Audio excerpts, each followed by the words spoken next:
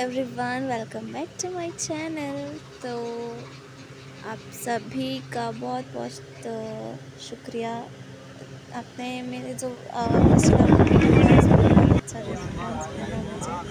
और अभी हम जा रहे हैं फिर से गाँव। और मैं मोस्ट वीडियो गाँव पे बना रही हूँ, क्योंकि मैं गाँव अभी इस टाइम मेरा बहुत जाना हो रहा है।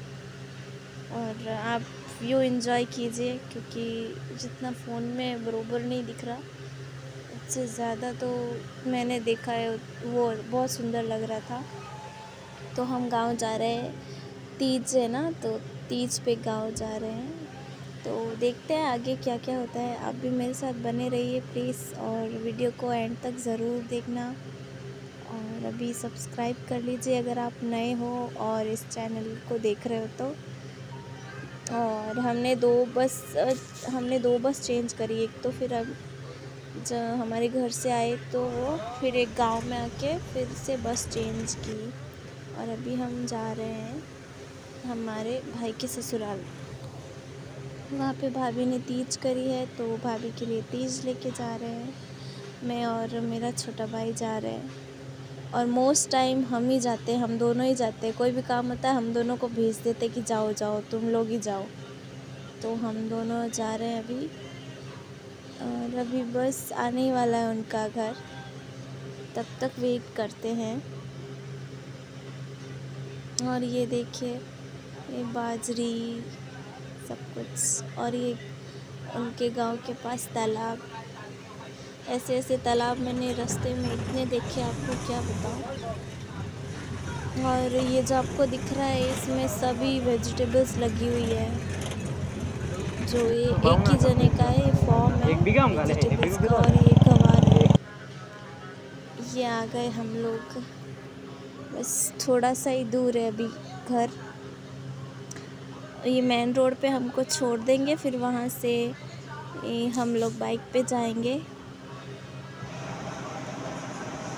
और मैं घर पे आ गई थी मेरे बहन के ससुराल और मेरे भाई और बहन का दोनों का ससुराल यही था तो ये भाभी जो तीज पे लड़कियों, लड़की आती है, व्रत करती है, उनको देते हैं वो सामान है। सुहागन का सामान है ये और ये शाम का नज़ारा। मैं यहाँ पे आई, आ गई थी। हम लोग तीन बजे ही निकले थे तो मैं पाँच बजे आसपास आई। मौसम भी थोड़ा ख़राब ही था तो शाम का नज़ारा देख लो आप लोग। व्रत था तो फिर हम कुछ खाए खाए तो नहीं। चाय वाय पी और सब लोग बैठे थे शाम को। और ये मेरी बहन का ससुराल है, घर है उसका। और ये उनका आगे वाला ये खेत है उनका। फिर जब रात हो गई तो हमने झूले खाए सबने गए थे तो पूजा करने बैठ गए सभी लोग। फिर हमने तीज माता के व्रत की कहानियाँ सुनी, सबको धागा धागा बांधा, बिंदी लगाई। सबको अक्षत्र दिए जो कि सबूत होता है कि हम उनको साक्षी अन्न को साक्षी मानकर फिर कोई रस्म होती है जिसमें देवर के साथ यहाँ पे वो रस्म चल रही है जिसमें देवर भाभी का कान पकड़ता है और उसको अपने पति का नाम पूछता है, फिर भाभी बताते हैं, फिर भाभी भी उसको, उसकी बीवी का नाम पूछते हैं। अगर होती है तो वो बताता है, नहीं होती है तो वो ऐसे बोलता है कि चिड़िया या चिड़कली ऐसे बोलता है। तो अभी यहाँ पे कपड़े दे रहे भाभी और हम सब यहाँ पे बहुत हंस रहे हैं। बहुत ही मज़ाक मस्ती चल रहा है यहाँ पे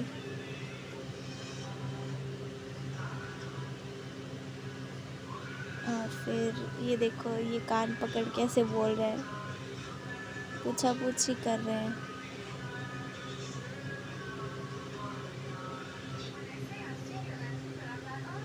यहाँ पे बहुत मज़ा आया मुझे।